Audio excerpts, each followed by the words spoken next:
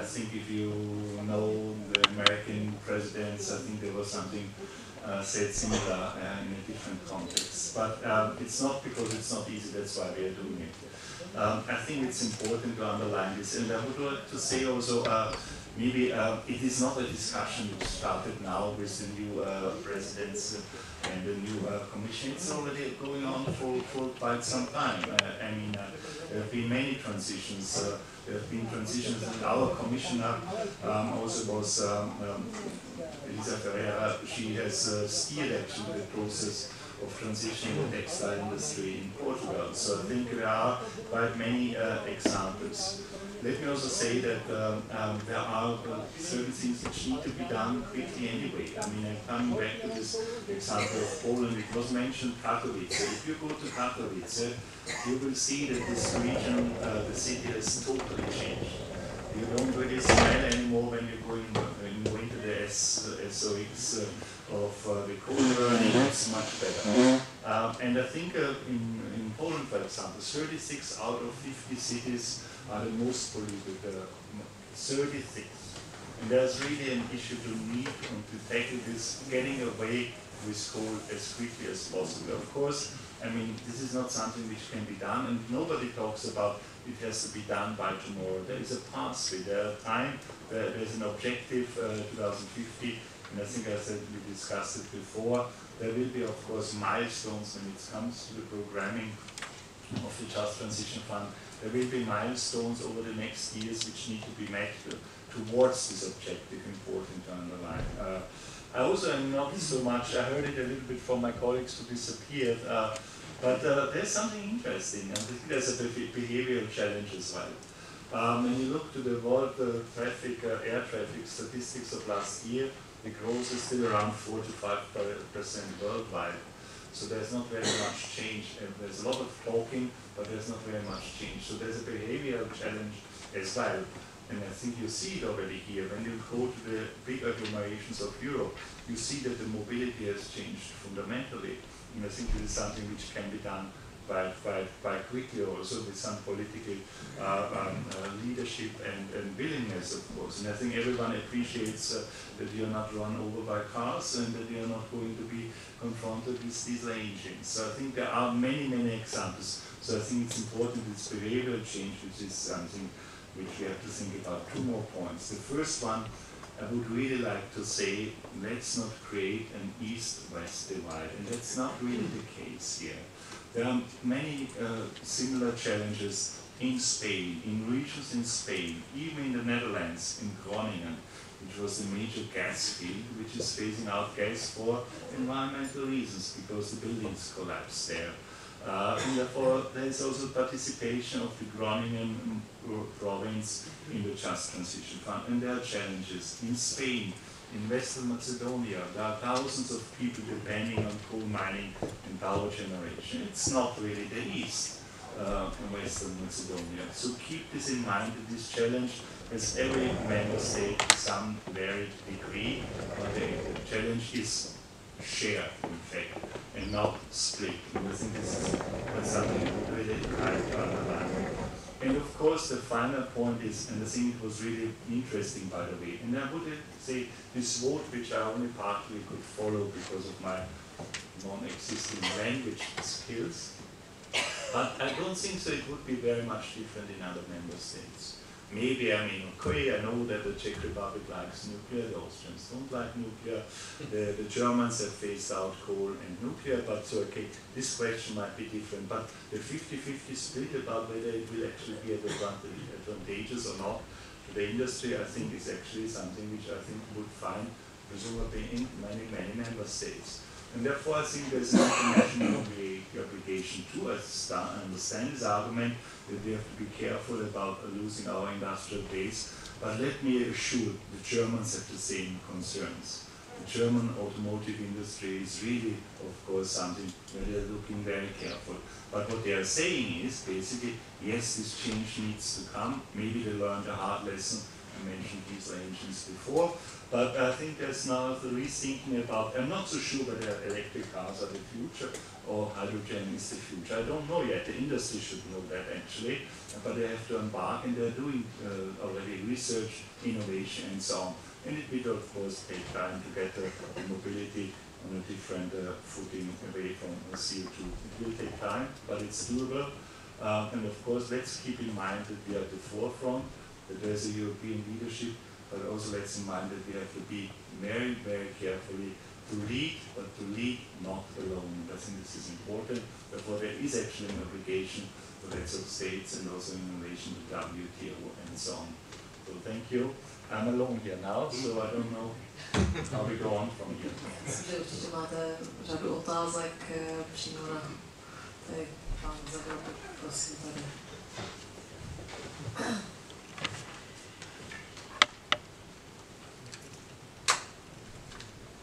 Jiří Jeřábek, já jsem eh, z organizace Greenpeace. Eh, My si myslíme, že Evropská unie by měla přehodnotit a zvýšit ty cíle pro rok 2030 s pokračující klimatickou krizí a i se ukazuje, že například obnovitelné zdroje jsou levnější a levnější, že technicky to bude možné. A hold prostě když je krize, tak se musí ty plány přehodnotit a e, ty plány přehodnocují i ostatní. I Čes přehodnotil plány a když před deseti lety uh, zapnul jadernou elektrárnu Temelín, měl vypnout uhelné elektrárny a nic se nevyplo a deset let uh, vyvážíme velké množství elektřiny a zbytečně tady pálíme uhlí a znečišťujeme planetu. Takže uh, vlastně si myslíme, že, že tohle by mělo přijít. A ohledně těch uh, financí uh, si myslíme, že by měly uh, být na oplátku za to, že Česká republika se zaváže k něčemu, co bude lepší než business as usual.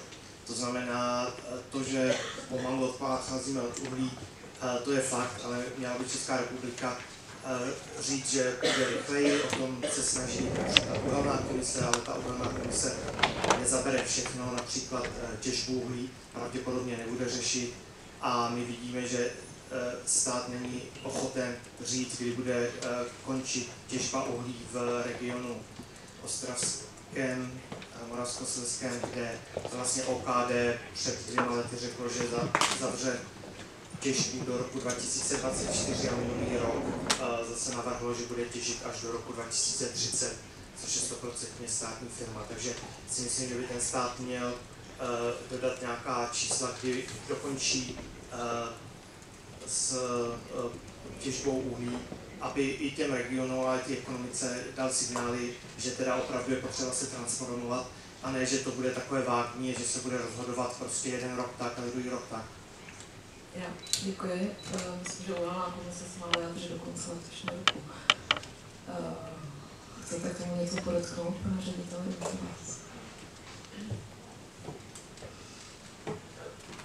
But I mean, um, just a more generic uh, response. I'm not commenting on any renewable energy targets. I think uh, this is uh, not really the topic today. Uh, but let me say that uh, I think uh, it is important to say that we are requiring, and, and we will possibly discuss it very soon, the preparation of a, a, territorial transition plan. And I think this is, of course, a plan which has various elements. It has an element of how economic transition, economic, social transition should be uh, steered, uh, who is doing what, what are the objectives. But of course it has a sort of, uh, this is a plan actually which is steering investments. And uh, I think we will look very careful and I don't know what will, because we have not even started yet, but I can make, of course, uh, I can assure you that we will look very careful not just us, but uh, also the other services in the European and the Commission about uh, dealing with climate issues or energy issues to see what are the commitments uh,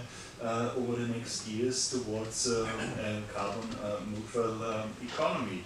So as I said before, um, the objective, the political objective is 2050 and we're talking about 2030. So I think we want, uh, of course, not to be in a situation where we say and we have a plan saying everything will happen in 2031. No, uh, that will be, of course, some sort of uh, progress towards an objective, which I think is also something which we will monitor. As I said before, all cohesion policy programs, and this is part of cohesion policy programs, will be reviewed in 2024 already, and I think already in 2024 there should be some sort of uh, uh, achievements which give us some confidence that we are going in the direction which we all want. So I mean, uh, there's also, and I'm not uh, talking about this now, but there, of course, everyone who knows that, there are always more possibilities under cohesion policy about corrections and so on. So I mean, this is of course something which is not just a, a document, these transition plans, which is going to be put aside. No, it's the leading document to uh, tell us and you where the investments will uh, go, not just about uh, the fund, but also about the two other pillars. Again, these two other pillars should contribute to the objective of transition in the regions identified, but they are not necessarily in the same eligibility, meaning there are more flexibility for investments if necessary in other in energy infrastructure. Uh, and I think this is important to keep in mind. This is not something which we would finance in the Just Transition Fund proper. Děkuji. Poslední otázka.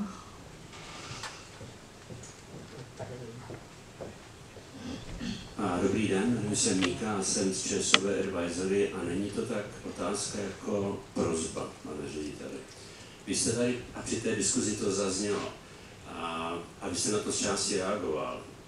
V České republice je globální změna klimatu zjednodušeně politickou reprezentací zužena na to, že není a nebude voda.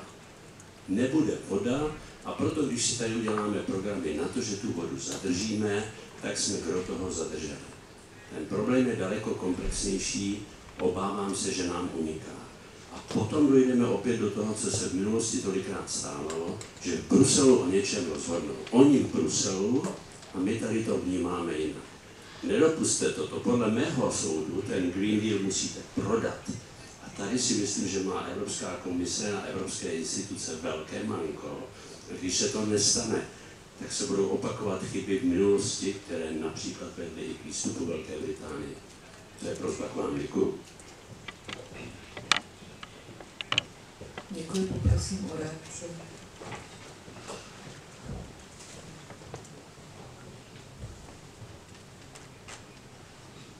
Two things. The first one is, uh, um, as I said, the Just Transition Fund is part of shared management. And there's a basic principle in shared management is that there are, of course, uh, certain policy objectives, which are the policy objectives which I have shown before from that point of view, uh, there are negotiations now with member states about the money's concern. Uh, the overall budget is uh, now going to be negotiated. Let's hope there's some sort of uh, breakthrough uh, this week. Uh, the Just Transition Fund is part of these negotiations. and here again, are heads of states negotiating um, about where in which areas the money should be invested. So here again, and you remember the discussion before about the Euro uh, European Summer about the Green Deal. You know very well the position taken by two member states. One I already mentioned was also in the Czech Republic when it comes, for example, to nuclear energy. I think it's important to reflect here also that there is, of course, a word in these discussions and a weight in this discussion. So it's not like it's top down from Brussels. Uh, when it comes into the regulations and the implementation, I think here we will negotiate as any other program where what makes uh, where should the money go, which should be the investment areas. The first uh, outline will be presented next week in this famous Annex DBs, which indicates in which areas we should invest in the three regions concerned, and maybe we discuss it later too with the experts here. Uh, but this is uh, in a partnership, and I think this is also important to underline that this is a partnership. So we are not going to, to, to, to, to tell you what you have to do, and then you have to do. No. We will possibly uh, invite you to read it carefully, to look to our analysis and come forward with arguments which are um, um, then uh, possibly um, accepted or not accepted, but at least uh, decided jointly. Let me come to this question about Brexit. Uh, I don't think that we have to discuss Brexit anymore, but uh, what underlying is that this policy for Brussels possibly has some sort of uh, uh, reflection in regions which are against Brussels. I think everyone who knows about this in Ostrava, in Katowice, in Western Macedonia, people know there's an obligation to create adequate jobs all in Eastern Germany, and this is important. They are not really against, uh, so far as I know, against phasing out uh, coal mining, because coal mining is a hard, it's a very, very hard job. As you might understand, I don't know, I was once or twice in a coal mine as a visitor, okay, I would not want to work there. But of course, these are very powerful uh, also uh, industries, particularly also in Poland, particularly also in parts of uh, Eastern Germany. But people want to have a, a, an adequate job created, and that's the obligation. That is the obligation we have. Not going to create jobs which are one third, a fraction of the salary which is actually paid for mines and power stations related. This is our obligation. This is the obligation of uh, politicians uh, and us to help actually to create jobs in innovation. Uh, and I think it's not just uh, in innovation, one or two jobs or research or whatever. Uh, uh, generally, it's high quality uh, employment. It's also an obligation to keep the people there. Demographic change is one of the key themes coming up now because there are regions which are depopulated. I have mentioned before some of these regions. And there's also coming back to the issue about, uh, you mentioned about uh, dissatisfaction of uh, making in Brussels. Therefore, I think we have to listen carefully and we have to be there. We have to have this uh, regional approach, we have to have this territorial approach for creating jobs in uh, in the sector of machinery, why not in IT, we have heard about this, but also providing clean uh, environment to keep the people there maybe also infrastructure, I would like to say, because this is important to understand. We are not financing inner infrastructure under this Just Transition Fund. But the Just Transition Fund is only part of it, and therefore the really the nicety and the advantages to bring it into the cohesion policy uh, funding possibilities, because this allows them supplementary complementary infrastructure, maybe on transport, to finance and so on. This is actually what we want to do. And there are many examples. I mean, if you go to parts of Eastern Germany now, these uh, countries have changed totally. If you go to parts in Poland, these areas have changed. As I said before, if you go to Krakow, if you go to Katowice, Katowice is still a mining town, but you hardly see it. Or if you go to Sweden, not really. If you go to Kiruna, for example, in Sweden, this is a mining town. We don't know that they're actually deep mining, it's iron ore mining, so it's not coal but of course, I mean, this is important for the economy. But if you go there, it's not the mining which we have understood 20 years ago. Also, the mining industry can change. So I think this is important what I wanted to say. Don't be afraid about this. It's not going to be easy, and I said before, but it's not the reason why we are going to embark on this. Já děkuji za závěrečná optimistická slova. Můžu dodat, že optimismu je více než u českých účastníků debaty. Děkuji vám, že jste se zúčastnili, děkuji za zastoupení Evropské komise v České republice a kanceláři Evropského parlamentu a také Konfederace zaměstnavatelských a podnikatelských svazů České republiky a České podnikatelské reprezentaci při Evropské unii. Jejich jménem si vás také dovolím pozvat na občerstvení, které se koná v zadní části této budovy. A jenom poprosím na závěr, nezapomeňte prosím odevzdat hlasovací krabičky. Děkuji moc a přeji vám příjemný zbytek dne. Děkuji.